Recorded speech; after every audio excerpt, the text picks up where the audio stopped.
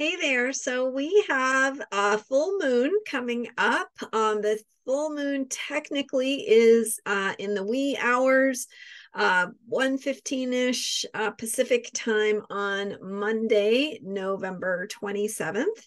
And uh, so I'm Marina Ormes here with your Astro Vibe for Sunday, November 26th. And we're looking at this full moon as it is coming into its fullness. And throughout the day today, the moon is in Taurus. We're still uh, connecting with the earth, remembering to get grounded, remembering what we're thankful for, and remembering that we connect with the earth through our senses so our our five senses right? The senses that sense the physical world and how that uh, physical world uh, is not separate from us. And so our gratitude speeds that uh, the beauty, the bounty, and the pleasure of the physical world as uh, we also receive that into our own physicality, our own sense of being in a body and wanting our bodies to be healthy and happy and whole. So, with the upcoming full moon, we've got some energy of what it means to know something, what it means to not know or to think that you know, to think you know something, and then to realize what you don't know. And uh, so we have the full moon in Gemini. So after uh, the moon uh, completes its time in Taurus, it will slide into Gemini. Early Gemini is opposing um, Mars in Sagittarius, which is together with the Sun at four degrees Sagittarius. So um, that uh, as the moon goes into Gemini late in the day, um, today, Sunday, November 26th, then it will um, form that full moon in the in the wee hours my time, which is Pacific time in the United States. So, um, so with that Gemini energy, we have the um, the energy of curiosity of stepping into the uh the, the curiosity of what it is we don't know what we don't understand yet and how we need to explore and and investigate and gather data. So not really um, all that different from the way that we connect with the world through our senses.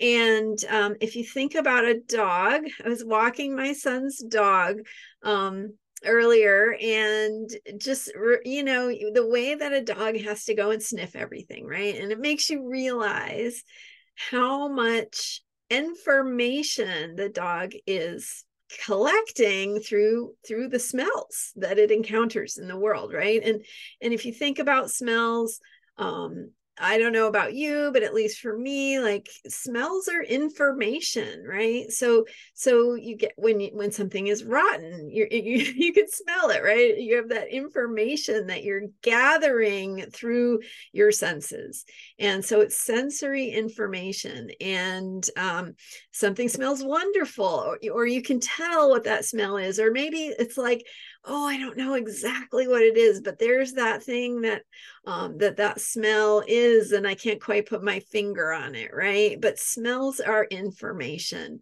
Um, so are tastes right? And and colors and textures and visual things and all the things that we can perceive or um, pick up with our senses. And so now you go from that energy, that dynamic of the um, zodiac sign of Taurus, and the moon goes from that Taurus place into Gemini, where it's about how we um, gather and process and synthesize the information itself. And so now you know now you're taking the the smell and and with the example of the dog you know the dog is gathering the smell but now the do- the dog is starting to put together a story right of who was here what happened?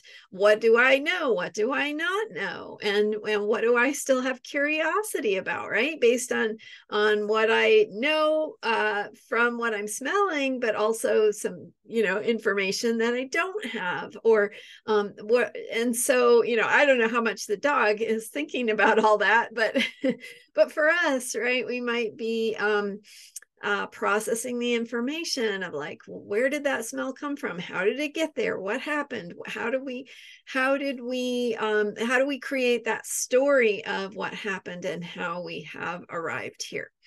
So um, so we're thinking about information, and this Gemini full moon is the energy of information, what we are curious about, what we know, and what we don't know. And because it is a full moon, which, you know, beautifully reflects the light of the sun and also is a culmination of the seed that was planted at the new moon in Scorpio, right? So we're we're in a moon cycle that has that Scorpio dynamic quality theme throughout it and that scorpio energy is bringing in the the sense of transformation of rebirth of letting things go that no longer serve so that we can step into new ways of being. And there can be feelings right? Emotions that go along with that letting go process. So so how this gemini full moon is the culmination of something you've been working on on an internal um, level, right? In a feeling way, in any working through your emotions, excuse me, or the energies or dynamics in your life. Um, right? We have energy fields and patterns that show up in our lives. And Scorpio is also about those and how they change when they need to change. So with the with the full moon now reflecting the full light of the sun having that uh, experience of illumination or revealing something we are getting to see more clearly what it is we've been working on or processing or the ener- the ways that energy has been moving that we can feel but we can't quite make sense of or or understand the bigger story. so, um, so with this Gemini full moon, it's really about what do we know? What do we not know? What are the pieces of information we do have? What are the pieces of information we still need to um, learn more about or investigate or go gather to fill in the pieces of the puzzle? And so we also have the Sun and Mars in early Sagittarius. The um, the energy of Sagittarius, which opposes Gemini, um, and signs of the zodiac that are in opposition to each other tend to be two sides of the same coin. So you get like this version and then you get the polar opposite but they're also dealing with um, in many ways the same kinds of things just from different angles. Okay so um, so with the sun and mars in sagittarius sagittarius is the sign of synthesis of integration. So it is the bigger story. It is you know how we tell the what the narrative or how we fill in the story with um, what what gives meaning to the information we've gathered. And some of that is about putting the connecting the dots of the different pieces of information. Some of it is adding in our perspective or uh, the meaning that we need to help us uh, get that sense of the bigger picture and uh, what what this is all about right? What how does it speak to us? How does it create a bigger picture of meaning? How does it help us become more of who we are? So with that sagittarian energy we we have the energy of jupiter also right? Jupiter is um, a ruler of Sagittarius. It's connected. It has the same family of energies. It's in the same family of energies. So, so they're both about faith, about optimism, about where you place your trust, how you're going to expand, how you're going to grow. So, whereas Gemini is about the data Sagittarius is about how we synthesize that data, connect the dots to tell a bigger story or understand or make meaning. So, um, and then from that meaning, right, when you have meaning, which can be through a philosophy, which can be religion, right?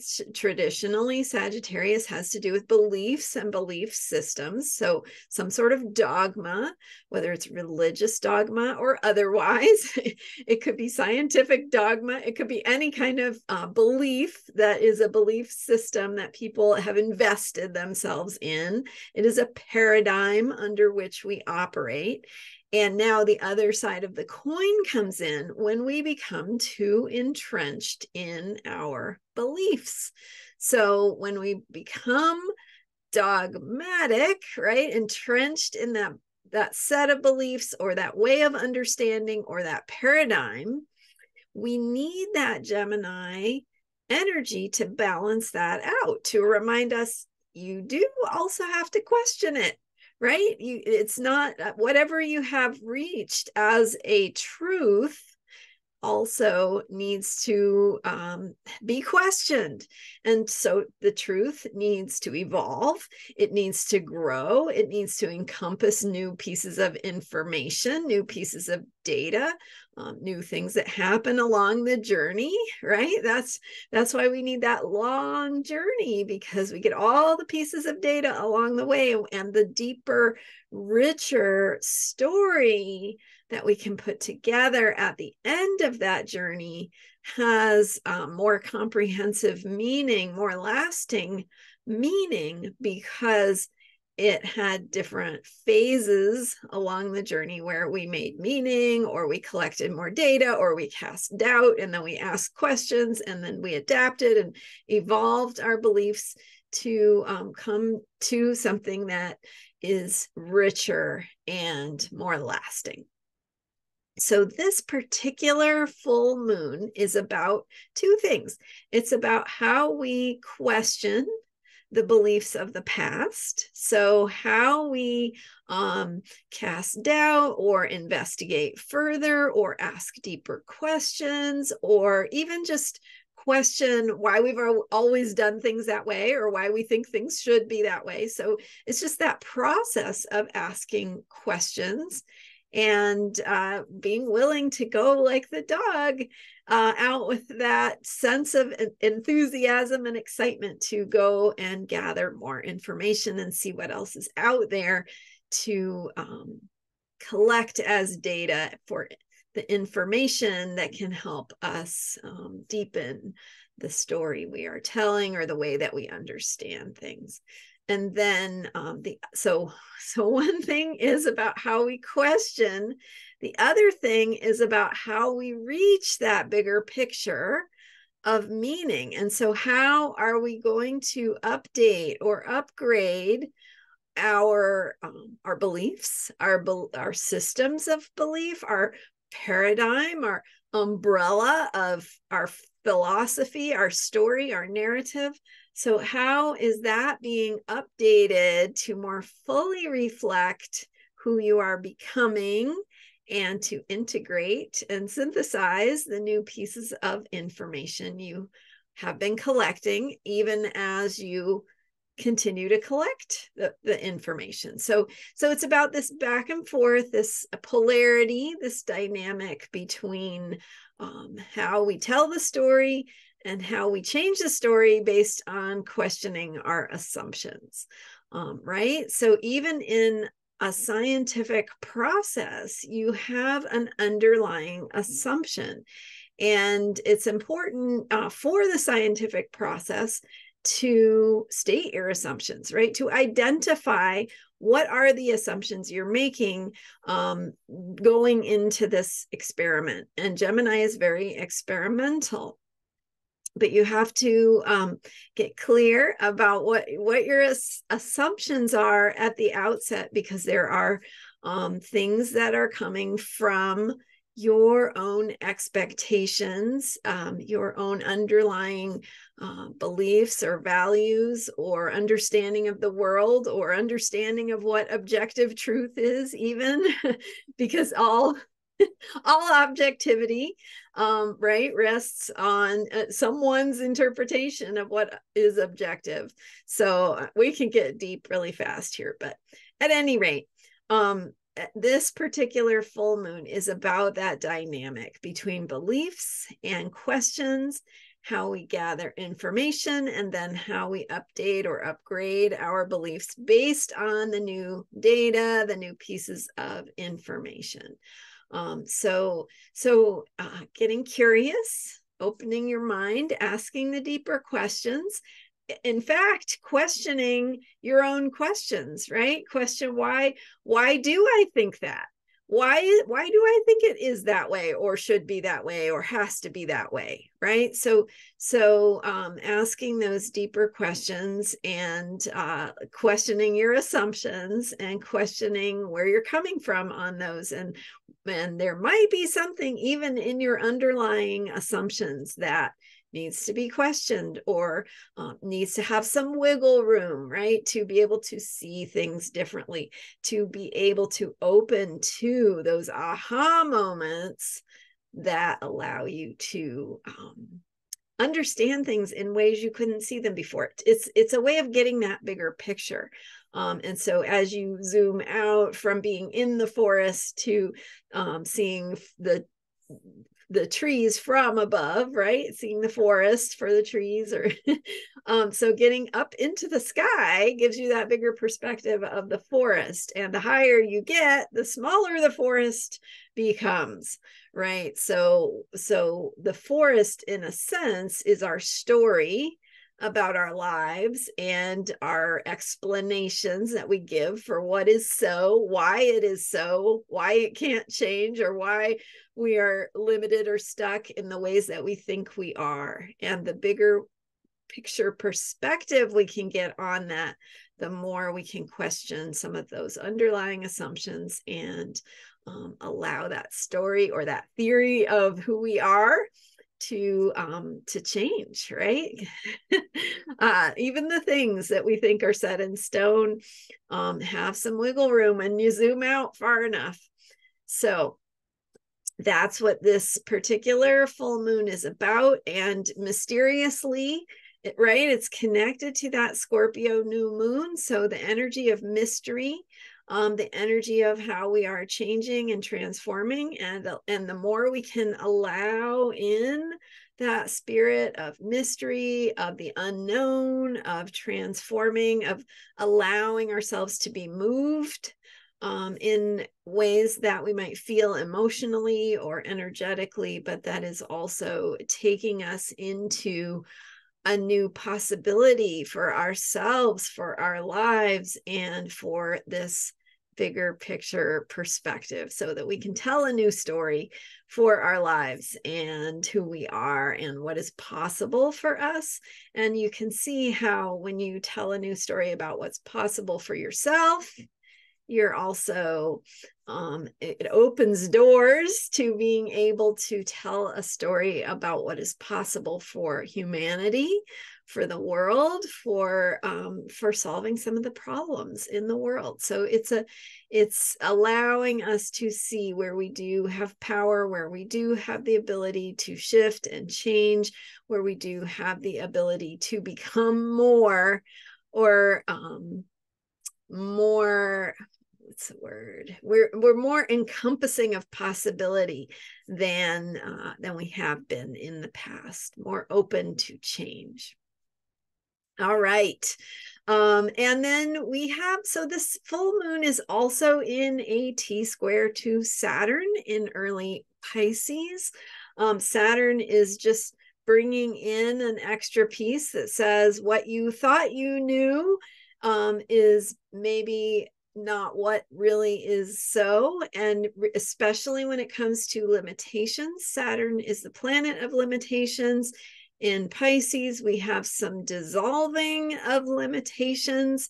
Um, think about putting a crystal like salt into water and then letting it dissolve and um, you lose your structure right? But but the salt is still there. So uh, so anyway that energy of Saturn is um, is creating illusions of our limitations that we get to work with, that we get to confront and come to terms with and work through. it's also reminding us that what it is we assume to be true um, can be reconstructed. It can be, right? Structures can be deconstructed and they can be recreated in new ways. And that uh, Saturn is all about form, how we create things in the physical world. So, just like a potter um, takes a lump of clay and makes it into a useful object, um, we can take things in our lives and uh, manifest uh, the things that that we want to experience right you can uh, take a lump of clay and turn it into the experience of a wonderful cup that you can hold in your hand and and sip tea from. And the same thing with the things in our lives. And when we can imagine the experience of sipping that tea we we have the the um uh, the the materials right? The raw materials that can be uh, that that can come together in the way that creates the delicious tea and the wonderful cup and the feeling of it in our hands. And so that is the things we want. It's the the outcomes we want the things we want to materialize or manifest.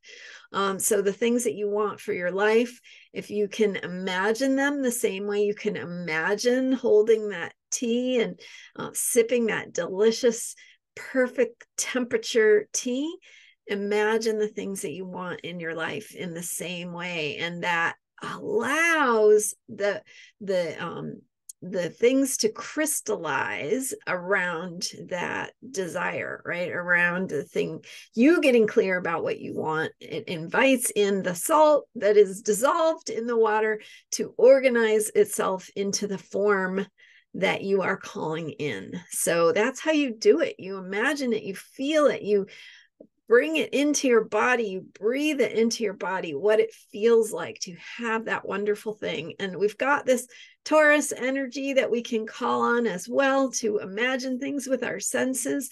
We have the Gemini energy that uh, we can invite in to help us change our perspective, help us ask questions and question our assumptions, question our patterns, question our beliefs, question our limitations um, to open to that bigger sense of possibility. So Saturn's a player in this full moon as well.